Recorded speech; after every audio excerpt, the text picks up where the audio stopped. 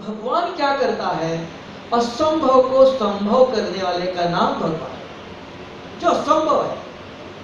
जैसे देखो, किसी को सिर दर्द है, पाँच, दस साल हो गया। कितने डॉक्टरों के पास दिखाया कुछ भी नहीं हुआ। पाँच, दस साल सहन करना पड़ता है, भोगना पड़ता है। बाद में किसी फकीर की दवाई ले लो, ठीक हो जाता है। क्यों? ये पाँच, दस साल उसको कर्मों का भोग, भोगना ही पड़ता है। तब कहते हैं there is no excuse English में कहते हैं for each action there is a reaction and there is no excuse of ignorance of law of action हर एक के कायदे कानून है। तो वो कैसे पता चले? अभी मेरे अंदर पाप है, बीमारी है, कैसे पता चला? शरीर के अंदर, ये दो बीमारी आत्मा के अंदर भी पुण्य आत्मा, पाप आत्मा, देवात्मा, महात्मा कहते हैं।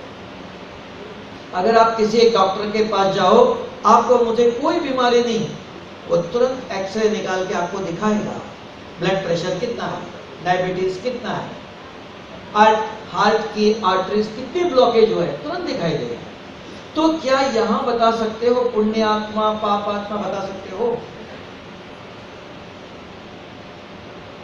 बताओ, यहाँ बता सकते हो? वहाँ तो डॉक्टर तुरंत दिखाई देगा।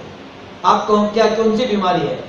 तो क्या यहाँ इस ईश्वरीय विश्वविद्यालय में ये रूहानी हॉस्पिटल है? क्या यहाँ बता सकते हो ये पाप आत्मा, ये पुण्य आत्मा, ये देवात्मा अगर कोई आपको फ्री दवाई दिया, देगा तो आप लेंगे फ्री है, ले लो। नहीं, हमको नहीं चाहिए।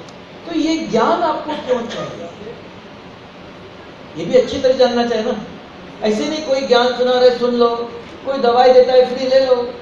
हमको बीमारी नहीं, फ्री देते हो चाहिए तो ब्रह्मा कुमारी आश्रम में आप क्यों आए हो?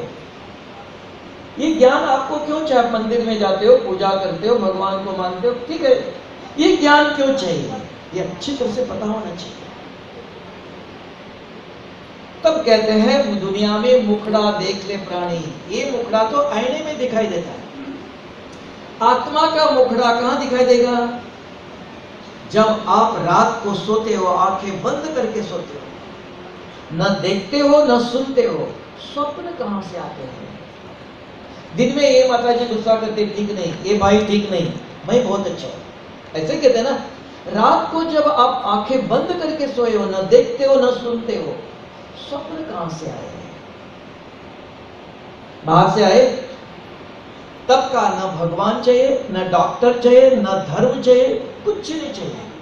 सिर्फ़ एक शब्द बुद्धि में याद रखो, जीवन में कभी दुख अशांति नहीं होगी ये एक शब्द भूलने के कारण ये दुख अशांति आई।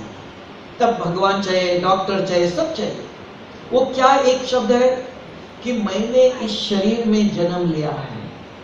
अंतिम श्वास तक इस शरीर के द्वारा एक एक सेकंड मैं जो भी कर्म करता हूँ वो कर्म मेरे अंदर रिकॉर्ड होता है। इतना ही जान लिया तो बस, कुछ भी नहीं। ये याद रखे कि मैंने इस शरीर में जन्म लिया। अंतिम श्वास तक कल शरीर छोड़ देना है। इस शरीर के द्वारा हर सेकंड जो भी काम करो हर कर्म, हर सेकंड मेरे अंदर रिकॉर्ड होता है।